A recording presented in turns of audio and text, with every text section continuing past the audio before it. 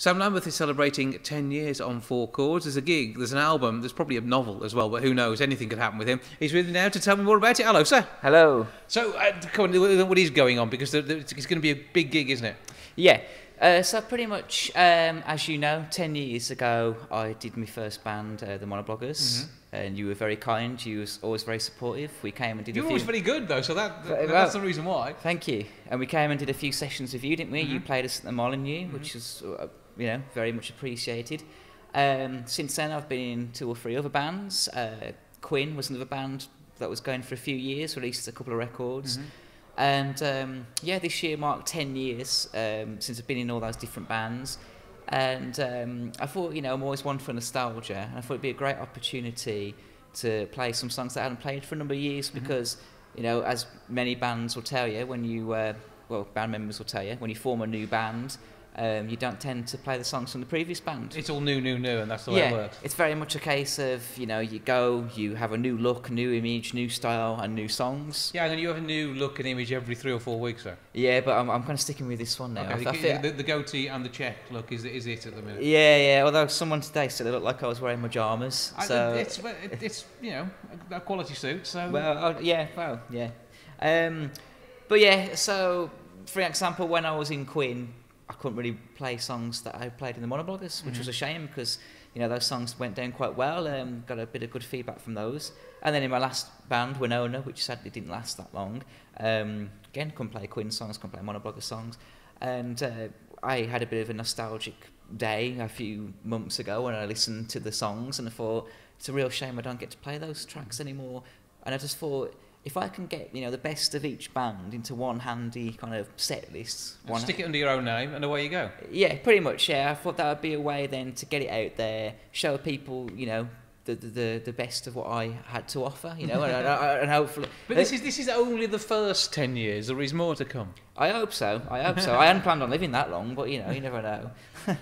so the gig itself is on Friday, the twelfth of July. Tickets are on sale now via uh, See Tickets mm-hmm. or feel free to come and message me. You know, I'll be more than happy to uh, sort you out with tickets. I mean, you have to pay, but I can I can put you in the right direction. Okay, but, you, can sort that out. Brilliant. but I mean, this is this now under your name? Because previously on Facebook we searched for Quinn and one of the bloggers. Yeah. But, so how do we find you on these? Well, you've hit the nail on the head there, haven't you? Because that was one of the reasons why I wanted to do it as well.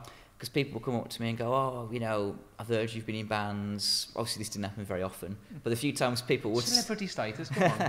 but the, on the times when people would say, oh, can I send me some of your music, you know, I'll, I'll listen to it. I was having to pinpoint them to Quinn. I'd send them a couple of songs from monobloggers. I go, oh, it's the latest one from Winona. And really, if you look at it, you know, from a business point of view, every time I had a new band, I was kind of diluting my brand, wasn't I? You know, um, I kind of wish in a way it could have been, I could have been the monobloggers from start to finish or what have you. But yeah, so this time it's just Sam Lambeth. So you know, if people type Sam Lambeth in Spotify, that best of is going to come up, mm-hmm. vice versa on Facebook, you know, and the things like that. So it's very much under my name. Not to discredit, of course, all the hard work that, you know, the mm-hmm. guys in Monobloggers did and the guys in Quinn did and whatnot, you know. They're going to, you know, I always highlight that these songs came from those bands, but, you know, yeah. So. And the album of your version of your own stuff from previous bands, I think I've more or less got that sorted. Yeah. Is it going to be available? Yeah, yeah, it's going to be on uh, Spotify, iTunes, things, all, all those kind of outlets.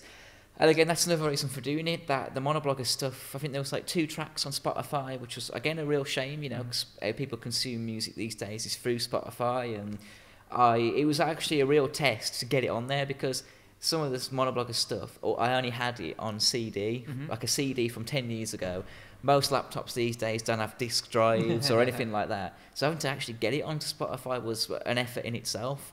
Um, but yes, it's going to be on Spotify and then iTunes and um, there's another one in there that people listen to. I, I can't remember what it's called. SoundCloud. SoundCloud. yeah, yeah, everywhere. Everywhere, yeah. Uh, and yeah. you're doing some stuff for charity alongside all of this as well.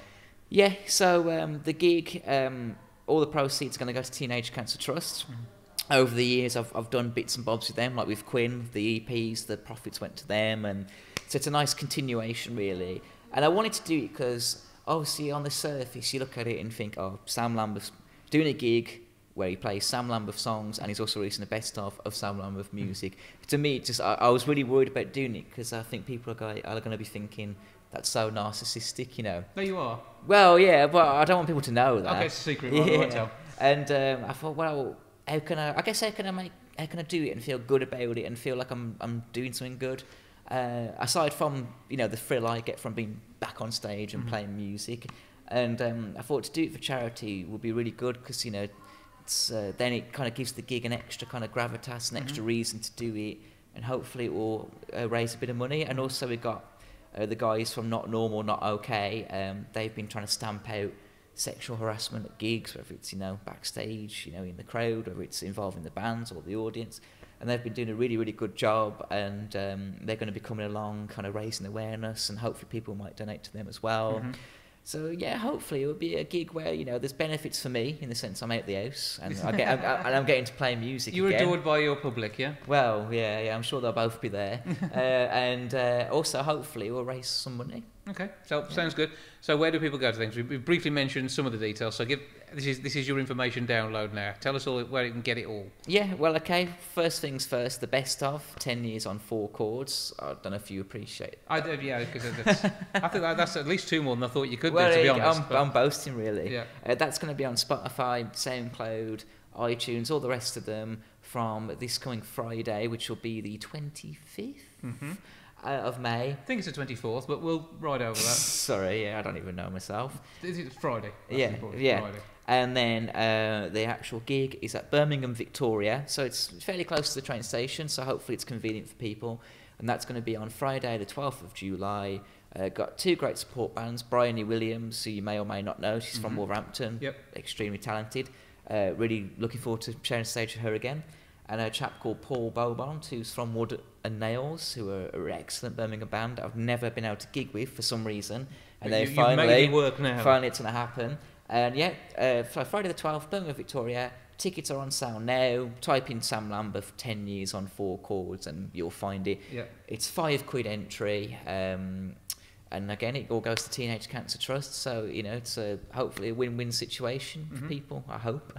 Fingers crossed. So, great stuff, great gig. It's going to be good. The music's fantastic. It's a top fella. Go along and support him. Sam, thanks for having a chat. Thank you very much for having me yet again. It's very much appreciated.